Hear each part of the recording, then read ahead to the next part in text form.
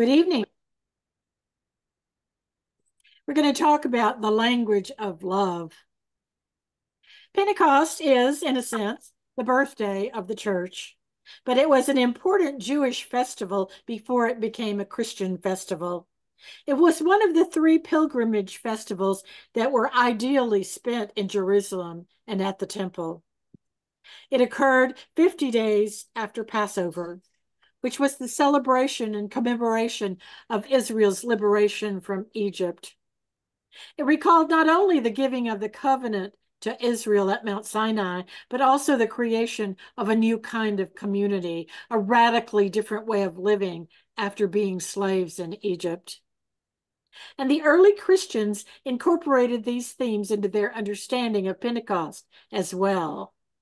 For example, the late great biblical scholar Marcus Borg said the central affirmation of Pentecost is that the Spirit promised by Jesus is now present among his followers and in the world. The Spirit is the Spirit of God, the Holy Spirit, the Spirit of Christ. This claim is foundational to the New Testament and to early Christianity. Most Christian people are familiar with Luke's Pentecost story that we find here in Acts. Symbols of wind and fire represent God's presence in powerful and dramatic ways. Suddenly, those gathered disciples understood. The scared disciples becoming courageous proclaimers, and the hesitant and doubt filled ones are now bold and assured. The Aramaic speaking ones now heard and spoke all possible languages. What in the world is happening? Jesus had promised from the very beginning that he would have to leave, but that he would not leave his disciples alone. Again and again, he told them that he would die and leave them, but the disciples did not believe it. They didn't want to believe it. In fact, they often responded with anger, saying, Stop talking like that. Soon the unthinkable happened, and they all, in their own way, had to go back to life as before. The memories of Jesus were fading, becoming like a fairy tale. Sadness settling in because they missed their friend. Disappointment setting in because, in a moment, it seemed all was lost. And then he appears, just like he said he would. Once again, he walks and talks with them. He reminds them that they are to carry on the work that he had begun. Although he had to leave, he would not leave them alone. He would send his spirit. As he was lifted into the heavens, he told them to go back to Jerusalem and to wait there for a little while. I can only imagine how excited and apprehensive they were when they gathered again in an upper room this time, they couldn't go back to life as usual. They had not just witnessed their friend and teacher and Lord die, but they had experienced his resurrection. They had touched his wounds. They had eaten meals with him. They had seen him show up in locked rooms and disappear into thin air. They had been reminded of their mission to continue Jesus' work, to continue healing, exorcising demons, restoring, forgiving, peacemaking, and loving. As they went about their work, they were to remind those around them that the kingdom of God was present. The shalom of God, the wholeness and completeness of God was taking form right before their eyes. Imagine if our congregation were gathered in the upper room. We're supposed to do what? How are we supposed to do what Jesus did? There's no way we can be like him. It would be easier for us to just be good, be lawful, to settle for the safe and average doings of religious life. Occasional church attendance, a Bible study here or there, a check in the offering plate, and a service project once in a while. We can do that. That's achievable. After all, it's the language we understand, a language of fellowship. But Jesus had other things in mind. His life, death, and resurrection showed us that we could become more. We could become agents of God's language of love, not just to communicate with those whom we know, who look like us and live like us and behave like us, not just to those who speak our language, but instead with all humanity.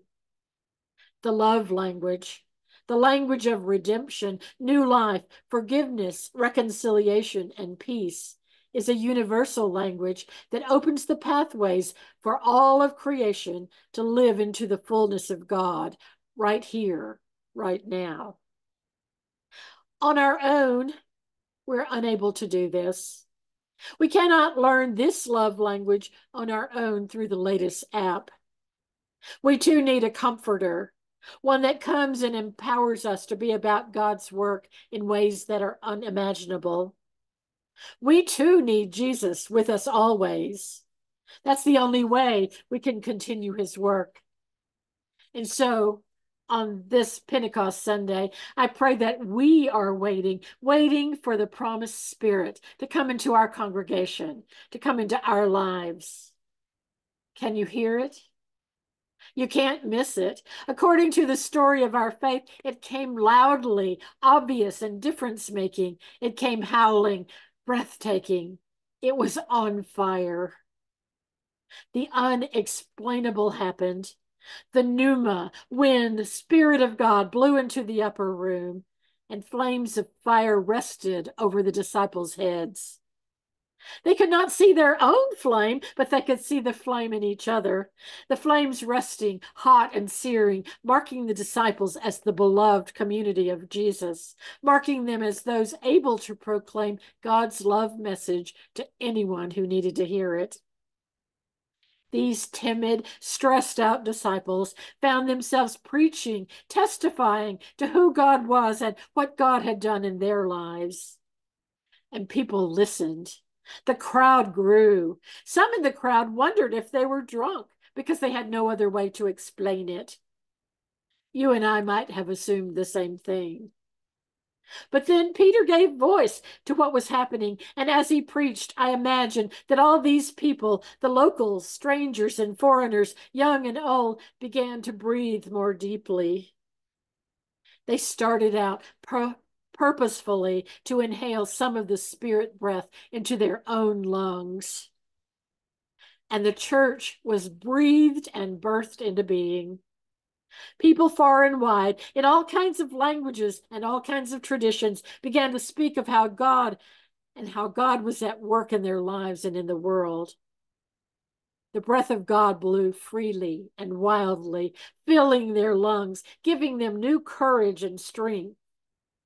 As Christ's body, the church, was knit together and began to move on its own. Here's the kicker to this meaningful, powerful, lovely story. We cannot keep it contained in the past. God's Spirit still works this way. The Holy Spirit, the breath of God, is at work here and now. Through scripture and prayers, through music and proclamation, through experience and relationships, God's holy breath challenges us, comforts us, scares us, clarifies things for us. The story of Pentecost tells us that if we're open to breathing it in, if we dare to pray, Come, Holy Spirit, we will find our own lungs filled to the gills with courage, strength, and passion, a faith we didn't know we had. As with people at Pentecost, God invites us to experience the fullness of life which God intends with every holy breath. We're invited to breathe deeply and consciously in every moment of our lives. Breathing deeply, expecting to be filled with God's Spirit, expecting to be changed by it as it fills our lungs, expecting that we might see things we could never imagine or speak boldly of God's love for all people. The crowds who heard the proclamation of Jesus were not your everyday crowds. The crowds represented humanity across time and space. Faithful ones who spoke all the known languages, faithful ones who gathered to worship God in Jerusalem.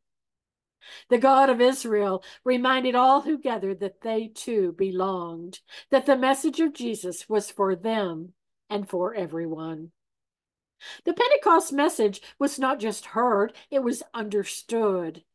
Jesus' disciples seemed to command every language spoken in the gathering, speaking with authority, mastery, and confidence. The Spirit becoming the interpreter, the tongues of fire providing a sign of God's presence, a universal message that would change everything. Some, sensing the Spirit of God at work, marveled at the experience but others found it too hard to believe, blaming it on drunkenness. Today, we, the disciples who gather in a room together, have a question to answer. What are we waiting for? Many of us have gathered in such a room for many years. We've come and we've gone. We've heard the story of our faith repeatedly. We might even remember the first time we heard about Pentecost in Sunday school or Bible school or a sermon or a song. It would be easy to come to this day with no new expectations. The promise of Jesus to those who gathered in that upper room is our promise too. We too have walked with Jesus, have heard the stories of Jesus, and have chosen to follow in the way of Jesus. We too have heard the promise of God's Spirit that will be poured out on us in every stage of our lives. We might have experienced it in the child being baptized, in the anointing of one who is sick, in the gathering at the communion table. The Spirit has called forth and has shown up repeatedly. I wonder, did we perceive it? Did we welcome it? Did we follow it? I invite you to pay attention. Can you hear the howl of the Spirit's entrance into our spaces of worship? Can you see the flames appearing above your brothers and sisters? Can you feel your tongue free to speak the language of love to those who desperately need the good news? Are we understood? On this Pentecost Sunday, we must get ready. The world around us continues to grow more diverse, more bilingual, or multilingual. What would it look like for us, by the power of the Spirit, to speak and act out the good news in ways that everyone can understand? To use love language in ways that connect with the whole world. Look around you. What do you see? Who is gathering? And what are they gathering about? How are your neighbors, co-workers, and acquaintances spending their time? Where is the Spirit showing up? How is God breaking into history in the places where we live and work and play? Who are the disciples of Jesus who've chosen to follow in his way? The ones who gather around the table again and again, asking for the Spirit to come, to be poured out on us who have gathered in his name. The ones who wait expectantly in our sanctuaries of worship to be empowered from on high so that the mission of Jesus can continue through us. Because we have chosen discipleship, and the Spirit has been and will continue to be poured out on us, we have the opportunity and honor to be multilingual, spirit possessed proclaimers of the good news of Jesus to a hurting, hungry, sometimes hopeless world. Let us be understood so that the promise of Joel is fulfilled, as at that first Pentecost, and we can be heard by all who have ears to hear. In the last days it will be, God declares, that I will pour out my spirit upon all flesh, and your sons and your daughters shall prophesy, and your young men shall see visions, and your old men shall dream dreams. Even upon my slaves, both men and women, in those days I will pour out my spirit, and they shall prophesy. I will show portents in the heaven above and signs on the earth below blood and fire and smoky mist. The sun shall be turned to darkness and the moon to blood before the coming of the Lord's great and glorious day. Then everyone who calls on the name of the Lord shall be saved. One of the most ancient hymns of Pentecost goes this way Come, Holy Spirit, our souls inspire, and lighten with celestial fire. It's a prayer that the ignition begun on that first Pentecost day might continue to burn within the church, so we will not lose our fervor, our flare, our flame. It's a petition for the work of God's Spirit to continue in us individually and as the whole body of Christ, so we might live our faith with zest and commitment and do the work of mission boldly with imagination. The promise of Pentecost is that every person of faith, every one of us, can be ignited by the Holy Spirit for a deeper expression of belief and a more powerful expression of Christian love and living. We're commissioned to understand and communicate God's love language. Come, Holy Spirit, come. Thanks be to God who sends his Spirit to us. Amen. Let's pray. Come, Holy Spirit, fill our lungs, our souls, our lives with your breath of courage and good news. Come, Holy Spirit, come and fill us with your power. Come and fill us with your truth. Come and fill us with Christ Himself, that we may bear Him faithfully in our lives. This we ask in his name and for his sake. Amen.